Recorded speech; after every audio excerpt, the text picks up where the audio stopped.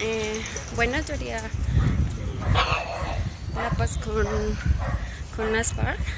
Sí, muestran un trato agradable y hacen eh, mejores tratos.